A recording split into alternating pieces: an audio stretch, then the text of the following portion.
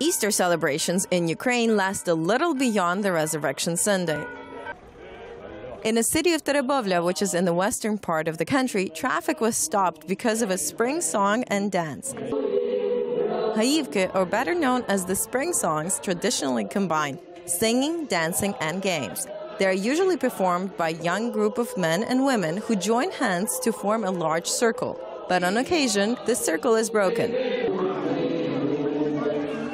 This gives way to the so called crooked dance, which lets the dancers get a little loose and take over the streets.